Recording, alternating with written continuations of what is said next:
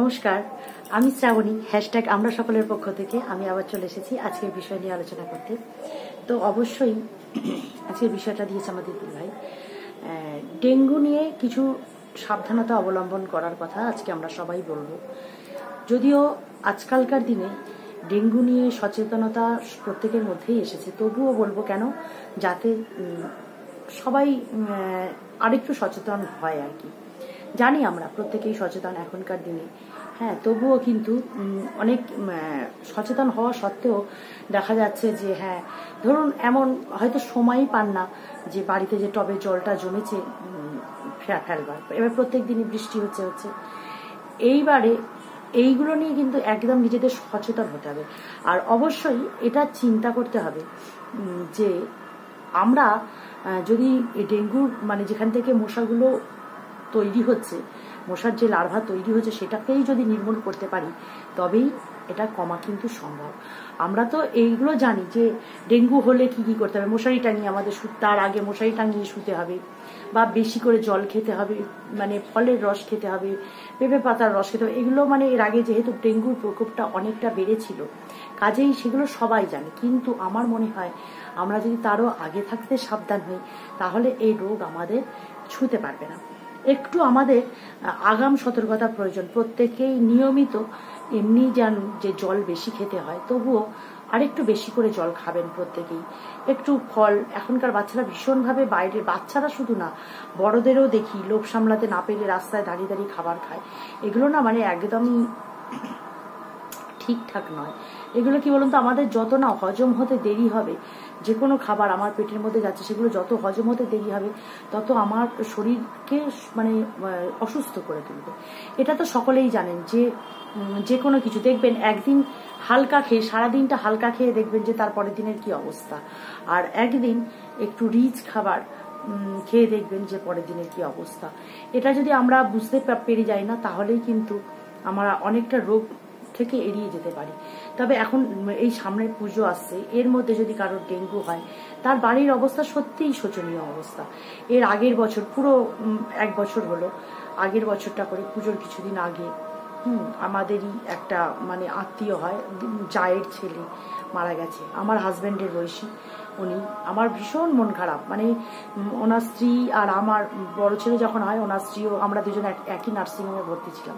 আমি এটা বলেছিলাম বোধহয়, কিন্তু এত কষ্ট পেয়েছিলাম শুনে যে মাত্র তিন দিনের জ্বরে একটা তরতাজা প্রাণ শেষ। পঞ্চাশ বছরের একজন মানুষ আর কি, শেষ একদম। হুম। তো এগুলো নিয়ে না মানে তখন তো আর আমাদেরকে হাতে কিছু থাকে না। যখন হয়ে যায় তখন আমাদের হাতে কিছু থাকে না। তাই বলব, আগাম সতর্ক, সবাই আগাম সতর্ক হন। আগাম সতর্কতা অবলম্বন করুন। জ্বর হলে কেউ নেগলেক্ট করবেন না। অবশ্যই সঙ্গে সঙ্গে টেস্ট করাবার ব্যবস্থা করুন। মানে টেস্ট করিয়ে অন্তত ভর্তি করবার ব্যবস্থা করুন। যে কোনো পরিস্থিতিতে কেউ ওই জ্বরটাকে নেগলেক্ট করবেন না। আর আপনারা জানেন যে সিমটমগুলো কি। অসহ্য মাথা যন্ত্রণা করবে, গা হাত পা যন্ত্রণা করবে। জ্বর আসবে একদম তিন, চার জ্বর, নামতে চাইবে না। দ্বিতীয়ত আর একটা যেটা এখন নতুন সিমটম দেখা দিচ্ছে, এবছর বলছে বেশিরভাগ মানুষ কিন্তু ওই ডায়রিয়া নিয়ে ভর্তি হচ্ছে হসপিটালে হ্যাঁ এটা একটা মানে যে আমি বারবারই বলি, আমার বাড়িতে ঠাকুর তৈরি আপনারা জানেন। তার জন্য তো অনেক রকম মানুষই আসে ডাক্তার এরকম। তো উনি এসে এরকম একদিন বলছিলেন যে, ডায়রিয়া নিয়ে এখন বেশি ভর্তি হচ্ছে মানুষ। ডায়রিয়াটা মানে তার কোনো জ্বরের লক্ষণ নেই, কিন্তু ডায়রিয়াটা ওই তিন চার দিন যেই পায়খানা হচ্ছে, তারপরেই পায়খানা বমি এই সমস্ত নিয়ে ভর্তি হয়ে ব্যাস, ডেঙ্গু ধরা পড়ছে। তো কাজেই সব দিক থেকে সাবধান হতে হবে।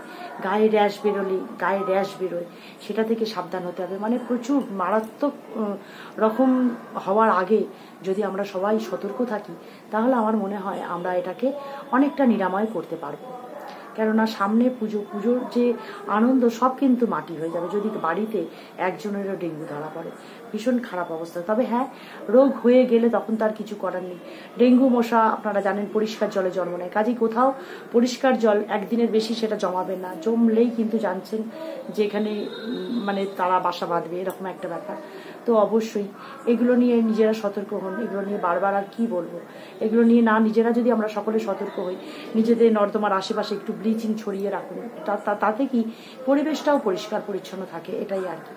আর আর একটা কথা যেটা বলার, যে ডেঙ্গু হলে যদি বুঝতে পারেন যে ডেঙ্গু হয়েছে, তাহলে একদম একদম দেরি না করে অবশ্যই ডাক্তারের শরণাপন্ন শরণাপন্ন হন। তাহলে অনেকটা মানে কি বলব, ভয় থাকে না তাতে আর বেশি। হ্যাঁ যদি দেরি হয়ে যায় তাহলে ভীষণ ভয় কিন্তু। কাজেই এখান থেকে সবাই সতর্ক হন, সাবধান হন এবং আমি আবারও বলব হ্যাশট্যাগ আমরা সকলের, আজকে আমি দেখার সময় পাইনি। হ্যাশট্যাগ আমরা সকলের এই বিষয়গুলো নিয়ে সুন্দর সুন্দর সবাই আলোচনা করছে। আমি শুধুমাত্র কবিতাটা দেখেছি। কবিতা যেহেতু কবিতার হাজবেন্ড আগের বারে ডেঙ্গুতে, এই সতেরো সালে মনে হয় ও বলল, ডেঙ্গুতে ওনার ওর হাজবেন্ড মানে ডেঙ্গু হয়েছিল আর কি। তো ও সমস্ত কিছু একা হাতে সামলেছিল, সেটাই ও শেয়ার করেছে। ওটাও শুনলে আপনারা অনেক উপকৃত হবেন। ও অনেক কিছু বলেছে যে এটা মানে যে কোনো কিছু যে টোটকা হয় না মানে কোনো কিছু রস করে তাতে ওই একটা শিক গরম করে ছ্যাঁকা দেওয়া যাতে জানটা নষ্ট হয়ে যায়। এই এই যে জিনিসটা, এটা করা কিন্তু খুব ভালো। এগুলো আমরা আগেকার মা জেঠিমাদের কাছে দেখেছি এরা করতে। এখনকার আমাদের হাতে আর এত সময় নেই। কিন্তু তবুও বলব যে, কারও যদি ওই মারাত্মক জ্বরটা হয়, তার মুখে কিন্তু রুচি থাকে না। সেই খাবার খেতে পারে না ভালো করে। তখন তাকে কিন্তু ওই মানে যতটা লিকুইড পরিমাণে খাবার দেয়া যায়, তাকে মানে সুস্থ করবার জন্য আরও মানে সে প্রচণ্ড দুর্বল হয়ে পড়ে। সেই দুর্বলতাটা কাটানোর জন্য যতটা লিকুইড ফর্মে তাকে খাবারটা খাওয়ানো যাবে, সেটাই ভালো। তো অবশ্যই জানি আবারও বলছি, কেউ যেন এমন কমেন্ট করবে না, যেগুলো তো আমরা সকলেই জানি, অবশ্যই সকলে জানেন। তবুও সচে মানে সচেতন আরও আরও যাতে সকলে সচেতন হন, তার জন্য আবারও বলব, বাড়িতে প্রত্যেক দিন দুপুরে শুলেও একটু কষ্ট করে মশারিটা খাটিয়ে নিন। ডেঙ্গুর মশা দিনের বেলায় বেশি কামড়ায়।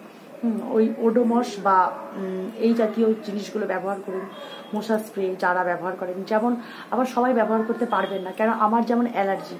মশার যে কোনো কিছু জ্বললে না আমার হ্যাচ্চ শুরু হয়ে যাবে। এটাতে আমার একটা অ্যালার্জির প্রবলেম আছে।